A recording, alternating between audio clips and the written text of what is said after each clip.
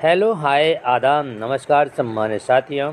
Welcome to YouTube channel TET point आज हम बातचीत करने जा रहे हैं न्यू पेंशन स्कीम में वेतन कटौती बंद, एक अप्रैल से बढ़ा हुआ वेतन।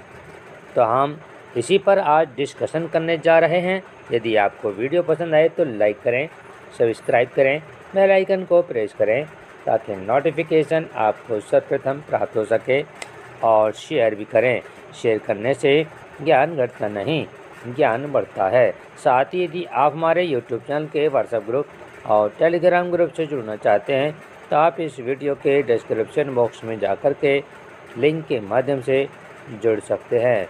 तो चलते हैं आज की वीडियो के शीर्षक की तरफ़। तो ये आदेश है बाईस तीन दो हज़ार बाईस का। राजस्थान सरकार निदेशालय, कोष एवं लेखा राजस्थान जयपुर।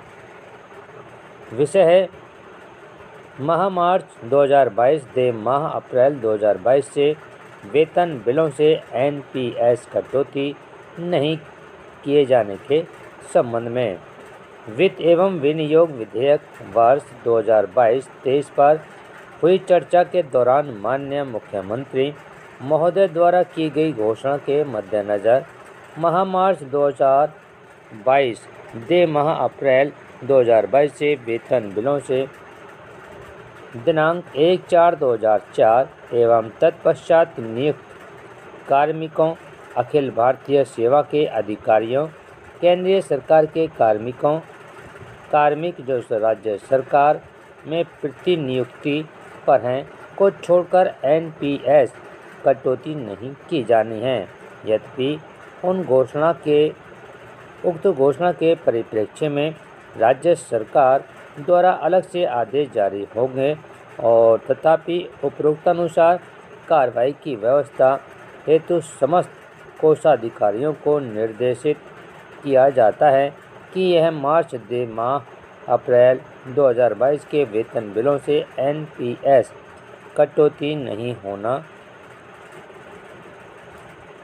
सुनिश्चित किया जाए तथा एनपीएस कटौती वाले बिलों को संबंधित विभागों को सही किए जाने हेतु लौटा दिए जाए। उक्त व्यवस्था की मॉनिटरिंग कोषाधिकारी के स्वयं के स्तर से की जाएगी तथा इसके उपरांत भी यदि कोई एनपीएस कटौती सहित बिल पारित होता है तो इसके लिए वे व्यक्तिगत उत्तरदायी होंगे। दिए भो, भूपेश माथुर, निदेशक एवं पदेन, संयुक्त शासन सचिव। तो ये आदेश है। यदि आपको वीडियो पसंद आए तो लाइक करें, सब्सक्राइब करें। एट पॉइंट बाय मोहम्मद उसवाली धन्यवाद।